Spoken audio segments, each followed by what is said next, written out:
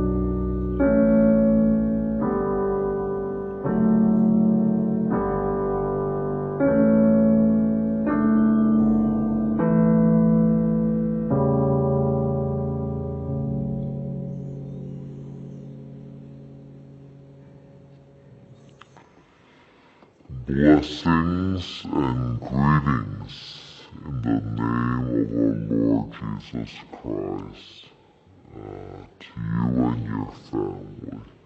Good morning. How are we this morning?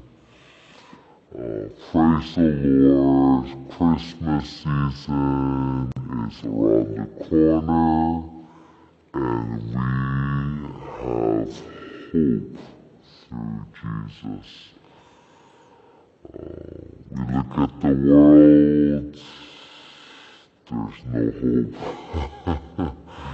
the end, the end of the tunnel is not in sight, but in Christ we have the power of hope and of resurrection. And uh, thank you for joining us this morning as we worship together. I'd like to uh, draw attention to some announcements, important ones actually, uh, and uh, for you to pray about as well.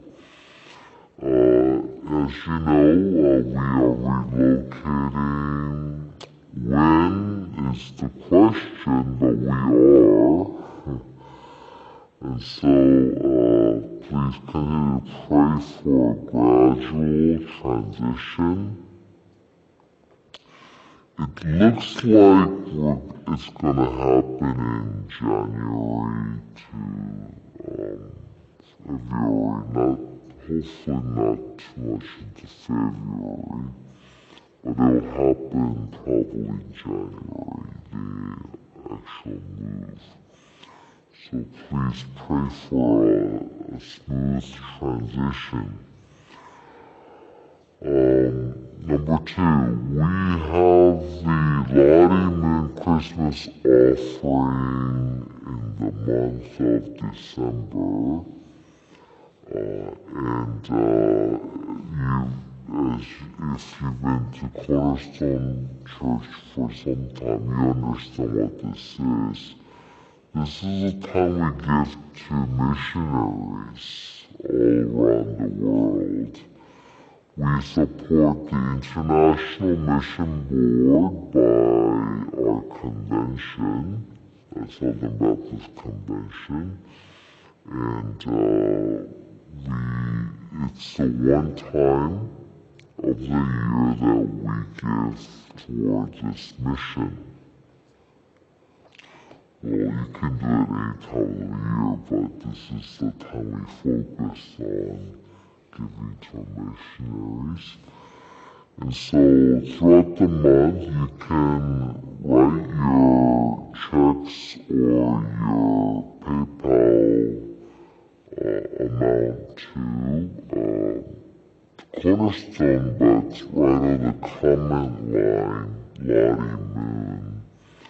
Moon was a missionary to China back in the early 1900s, and uh, she gave her life for the Lord. And in memory of her, we give offering to missions um, at this time of the year.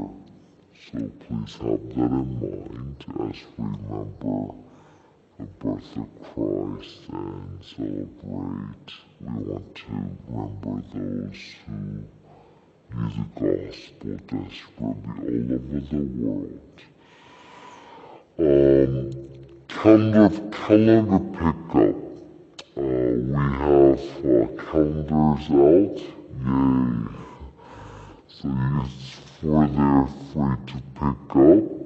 Uh, was thinking how we could distribute it, but maybe you know you can come anytime to the church, hopefully office hours during the week or during the weekend to pick up your copy of the calendar. So each family can take one desktop calendar and a wall calendar.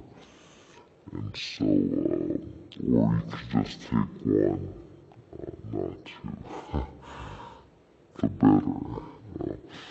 Uh, and so uh, that's there for you.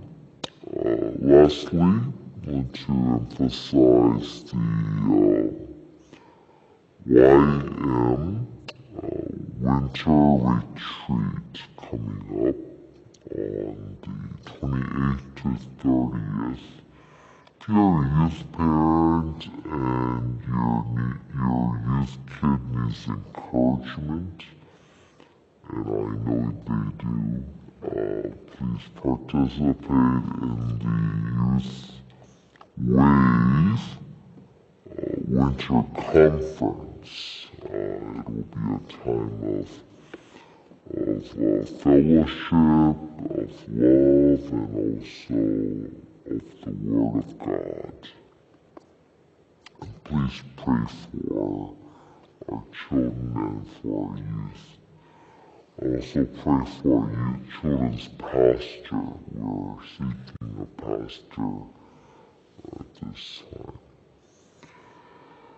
I think that's about it. Um, everything else, please look, refer to your bulletin for more information and for worship info as well. Let's go to the Word of God. We are starting a brand new series this morning. We'll be hearing from the book of James uh, in the month of December and to the month of January. And we're going to call it Show Your Faith as it's in your bulletin. Show your faith. So today we read from James chapter 1 verse 1 to 8.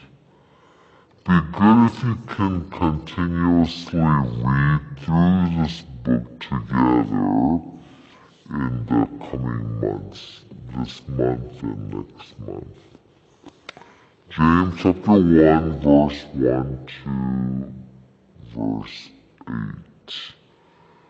And I'll read these verses, and please open your Bible, your Bible, and read along with your heart, with your eyes. Chapter 1, verse 1. James a servant of God and of the Lord Jesus Christ. The twelve tribes in the dispersion, greetings. Count it all joy, my brothers, when you meet trials of various kinds, for you know that the testing of your faith produces steadfastness.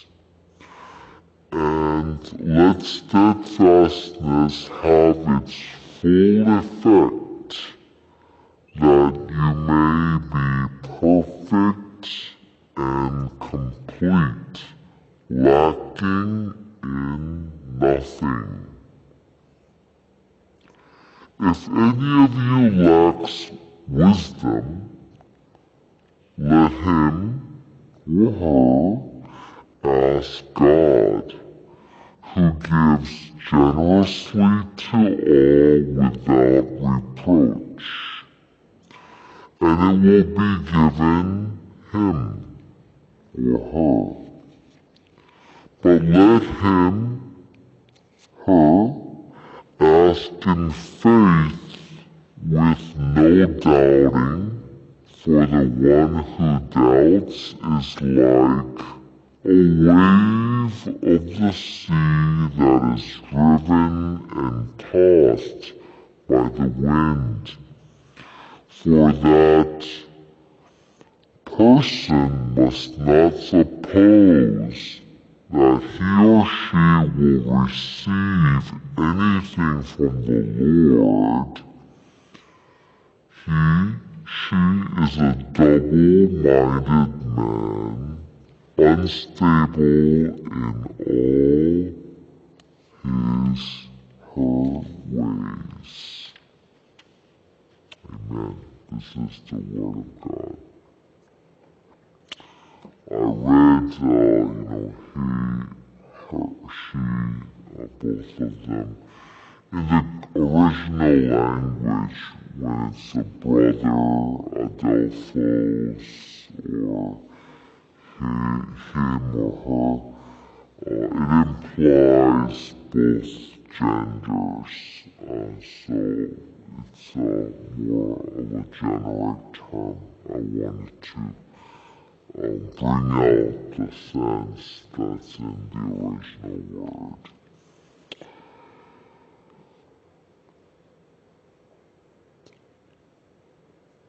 These days, a lot of us are being tested for the COVID 19 virus, right? Um, you're being probed in your nose. That's how you do it, right? uh, and I remember in June, uh, I was probed as well. It wasn't the most pleasant experience, but, uh, you know, uh, my family, my entire family, and our church pastors, we all did it because we're getting ready to reopen church, we thought in June. And we were trying to be responsible citizens. And I know many of you, uh, maybe not many of you, because you probably don't travel as much, but some of you who have to travel, you are being responsible, right? And you come back from your travels and you self-quarantine for two weeks or so. And some of you even get tested for the COVID virus before you um, uh, interact with other people that are around you. And that's the right thing to do as a citizen of this world and also citizen of heaven who are to set a, a higher standard, who live a higher stand according to higher standard of holiness and show it, show it as a light to this world. But you and I do admit that getting the test is not a pleasant experience when something is shoved into your nose. Uh, deeper place, deeper than you've ever thought uh, something can reach inside your nose. But it is important to have a test. To get these tests, not just coronavirus tests, but your health checkup.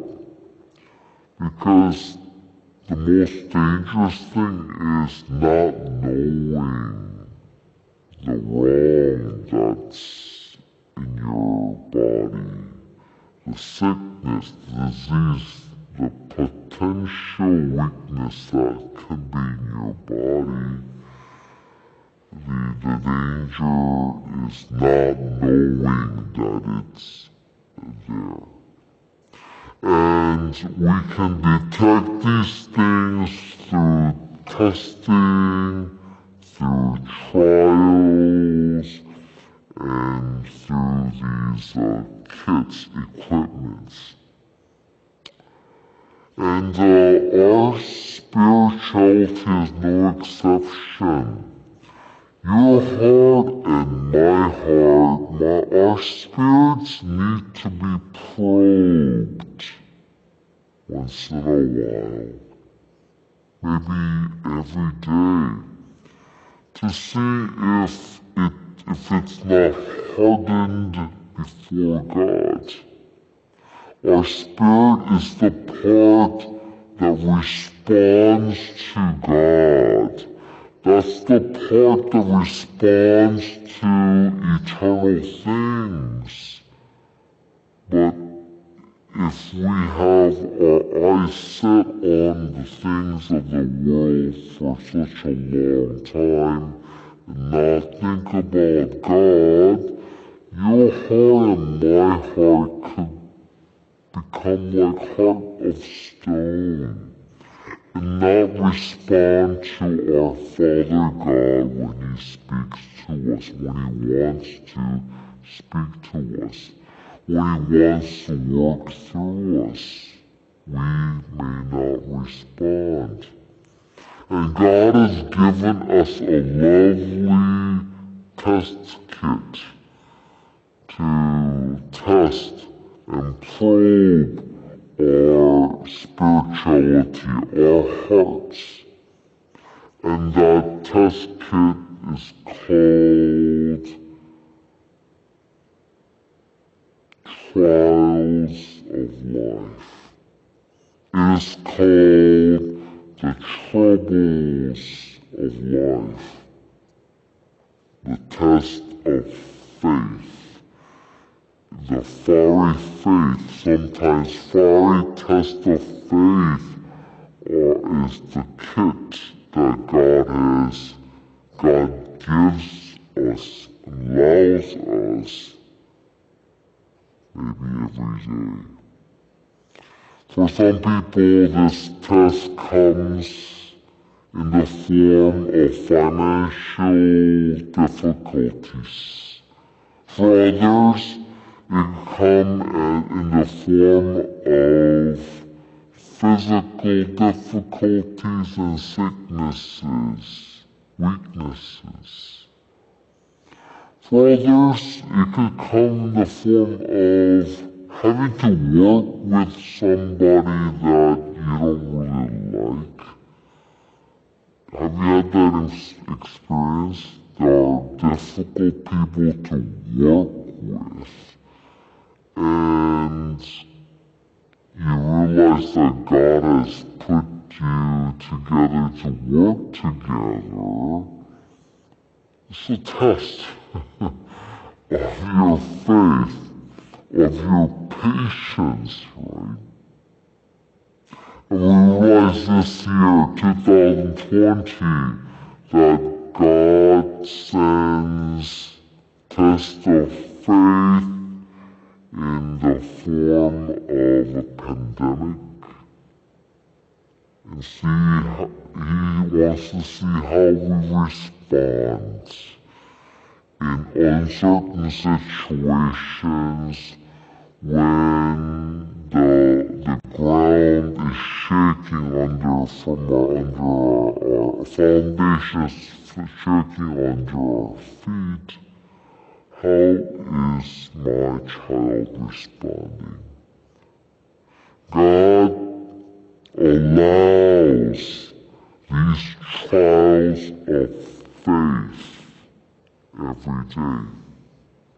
But it gives us comfort to know that every person of God, including Jesus Christ himself, was tested. Every one of our uh, faith ancestors they had to go through a trial, a test, troubling times in their faith life. And so, if this is something that test of faith is something that God allows us to experience and even want us to go through, we need to, we must understand and be able to cope with the trials of life, the trying times that we are encountering. So that's the question I'm raising this morning. How? How can you and I, as brothers and sisters and sons and daughters of God, could we endure even joyfully in trying and troubling times. And we're reading from the book of James. The book of James will look at, you know, faith and wisdom and action and these things are important to for us to have in our heart as we finish off this year and as, as we start off the new year it, with a fresh start, with action and faith in our hearts and with our lives. The first answer to this question is found in verses 1 to 4. How could we be joyful, even joyful? How could we endure these trying times? The first answer is this keep your eyes on the perfection of your faith. Uh, can you say it together wherever you are? Keep your eyes, keep your eyes on the perfection of your faith, on the perfection of your faith. Let's talk about James a little bit. Oh, I miss James. Oh, praise leader. But today let's talk about the book of James. In verse 1, he's uh, introduced as such. James, a servant of God and of the Lord Jesus Christ. James calls him a servant. This was a uh, interesting choice of word because James was the brother of Jesus. That's this James. This James is the brother of Jesus, you know, younger brother, of course. Uh, and uh, this James was the same James that we saw in the book of Acts when he, when he was leading the church council back in Acts chapter, I believe, uh, 14. And uh, when they had this conflict, he was the moderator, he was the spiritual leader and guide, guidance that the church needed. So you could imagine the authority James must have had authority all the Christians in the Roman Empire, right? He was the senior pastor of First Baptist Jerusalem Church, and he was also a brother to the Lord Jesus. And, and now he's telling and encouraging the followers of Jesus Christ with this important letter. So you can imagine the authority of writing this letter for all the Christians in the land. And he addresses them in verse 1 as such. To the twelve tribes in the dispersion, greetings. dispersion, or in Greek, diaspora, right? All those 12 tribes were scattered all across the world. Probably James had in mind the Old Testament picture of the Babylonian captivity when the old Jewish and Israelites, their, their, their people, were taken captive to the Babylonian Empire and they were scattered all over. They were trying to, the Babylonians were trying to get rid of the people group as an identity, get rid of their identity. They scattered them, but they remained faithful and they sought after God in those fiery times.